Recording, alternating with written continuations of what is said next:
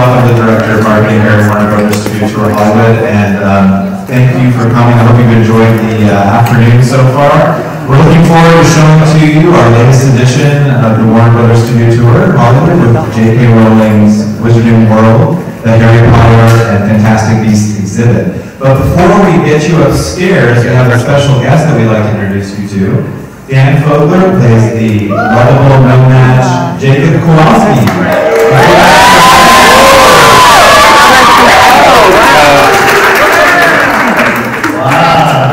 Yeah, you got it. Oh, okay.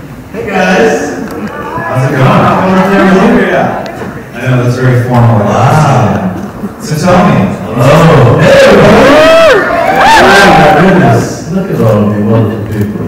Have they seen the, uh, have they seen the exhibit yet? They have not seen the exhibit. You've seen the exhibit. You guys heard it. What can you tell us about it? So it's, okay.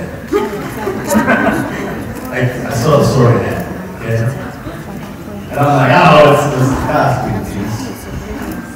And on my head, and it said my house. And, uh, I mean, I, man, uh, uh, I hope it does that for everybody. Doing it for everybody. Actually does. So all of you can get sorted today.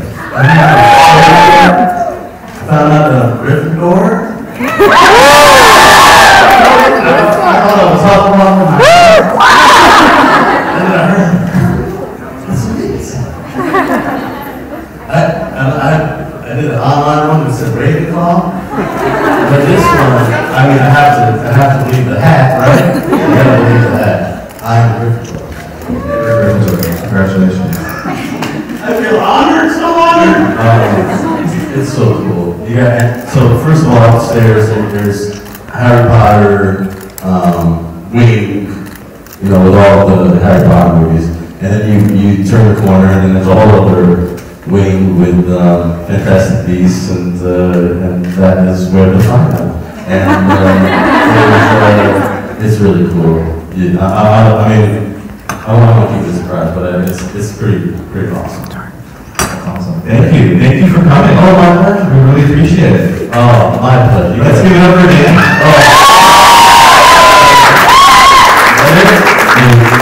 Anytime. This was excellent. All right, all right.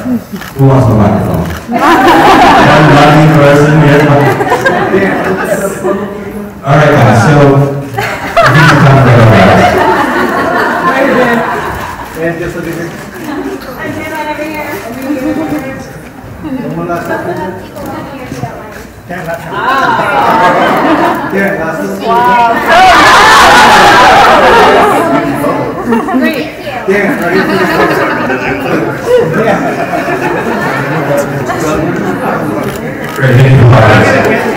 Go see the movie like one more time.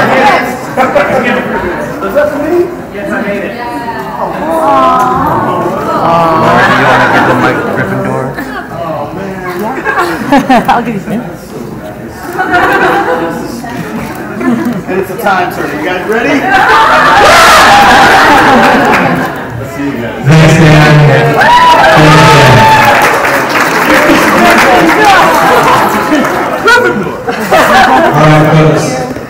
So just a few minutes, we have another special guest here. We have Bonnie Wright, who plays Ginny Weasley from the Harry Potter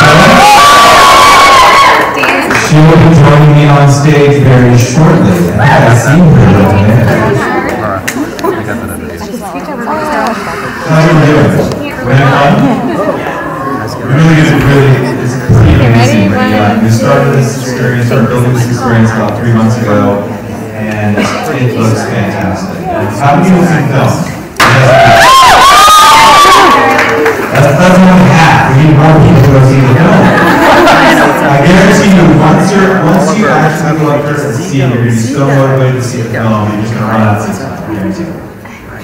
So ladies and gentlemen, let's give it up for Bonnie Wright and Ginny Weasley.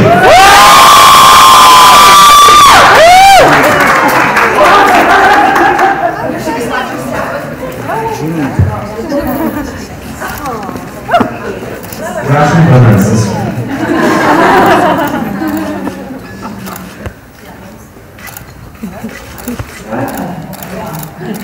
Thank you for coming. Yeah, So you had a chance to see the exhibit. Tell us, what do you think? It's cool. I mean, I mean, the minute I look at something, I just like all of these amazing memories just flood back. It's such an enjoyable thing to, to have. I think it's amazing how much like memory can be locked into an object or a costume, and I think that just shows how huge an experience it was for me in my life, and clearly for everyone who's going to come and see So, as a fan myself. Is there a particular proper costume that uh, you're excited to see? Um, well, I hear they have my wand, so we'll see. The wand bearer coming. I was thinking earlier I should have like named her. Played. So there's a little backstory. So we got, this is her actual wand um, from Harry Potter, and we had it flown in from London, and it arrived today. Today. Um, so, what would you say to fans uh, who are visiting for the tour? Um, and what, what would you tell them? Um, well, I'm someone who really loves to see, like, I quite like to feel like I can hold things and touch things and see them and see the textures. And I think for anyone who's coming to the exhibition, I think even though it's beautiful when you see a movie, it does sometimes feel that little bit removed. So I think to be able to be in the company of these costumes and and these environments and sets that we, you know, we have memories attached to these props is really exciting, and I think there can be a really fun, there's an intimacy to the experience that I think is really cool. Um, and I think it's also a great honour to the amazing creatives that created as well, be that Stuart Craig who designed the films and has gone on to also design Fantastic Beasts, and I think to see his amazing ability to create Jo Rowling's incredible world into a physical form is really cool. So I think it honours all the work that really went into these films. It wasn't just, um, you know, all done on a computer. That's fantastic. Thank you, coming. We really appreciate it. So, you guys are going to get to see the costumes, props, and some of the set pieces from uh, Harry Potter and Fantastic Beasts. But before we go, is there, is there any sort of spell you can cast to make sure that we're really successful? Oh my gosh. You know, my favourite spell is, is something you don't want to do. Yes. No, uh, I just destroy Yes, you everything. Um, or I could just be like, in theory, when you get a better wizard, you don't even just say anything out loud, so maybe I'll just, I'm saying some really complicated thing in my head. Say it. That's. Um, I mean, everyone, you know, we have to like perfect the like swish effect that I think mine was all set up. But, you know, and that's it. Thank you, Bonnie. Yeah,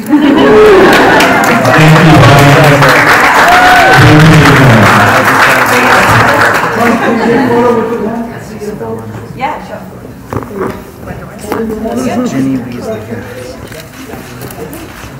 Yeah, Bonnie, I can hear you. And on the end, Tommy? Hey, is the second here, Bonnie? Over here, buddy. Thank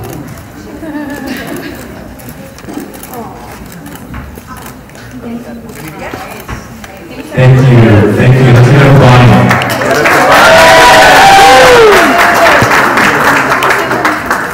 Okay, folks, so the exhibit officially opens this Friday, December 9th. And now this time I'd like to invite the press of the pink badges to make their way upstairs for their first look. Thank you, guys. Uh, We'll we'll continue now.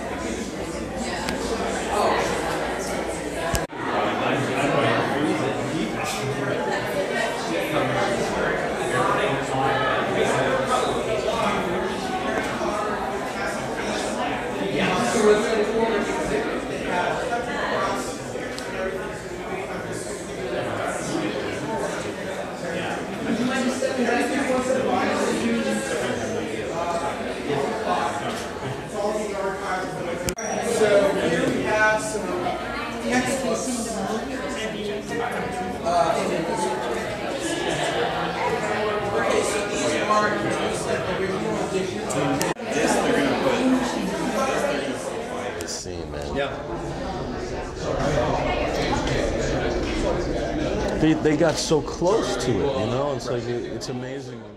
Dobby! Dobby! Oh no, they have him in a little butt! Get out of there! Oh! Wait a minute, is this, I feel like it's gonna work. Is it gonna work? Better be Oh my god. Gryffindor! Congratulations. Welcome to the winning team. This thing is so gigantic, and you get hit with waves of how globally, you know, huge it is, and all the talent and all the layers that went into it. It's so great to see it in this museum, you know, fashion. It makes me think about how my parents will will feel coming through here, you know, my kids, and see it through their eyes and, and say, wow, you know, daddy is uh, represented here, man. Uh, isn't that cool? Sometimes you're in something and it, it's just so big that you can't, you, you can't see the edges of it. You know, that's what this feels like. It's just so big. I just want to just try to enjoy the ride. You know, this is so, so, so cool. Um, and it's an absolute honor to be part of this all. I will always love that speakeasy scene, the blind pig, um, because it just has so much in it. You know, it's like there's music and there's fun bits with the giggle water and the and the uh, and Queenie and Tina. They just look gorgeous, you know, and it's just like, and so the, and then and then. Uh, Ron Perlman. Oh my God, there's like so many different awesome things in that scene, and I, I just seeing all the art from that was really cool.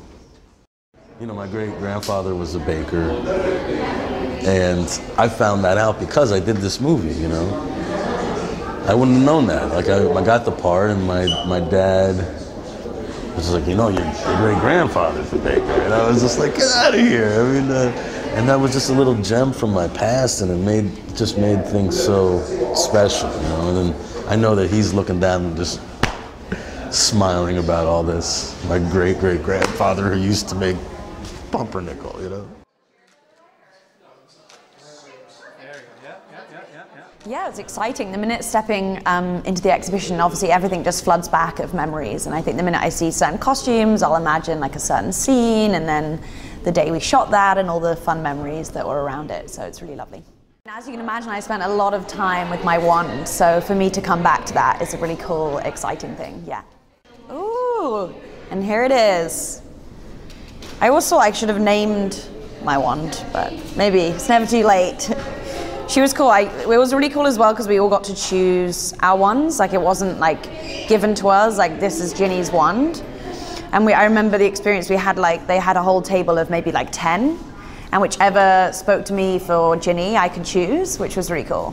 Which kind of, I guess, is my own miniature version of going to Ollivander's, but not really. But you know, it was good. For fans, you know, these costumes and props were such a big part of their experience whilst watching Harry Potter, yet they didn't get to see the detail. And I think so much was, um, you know, by all the people who made the props and Stuart Craig who designed all of the films, like no stone was left unturned. And I think that's what's exciting for people. They get to see those details that maybe weren't exposed in the film.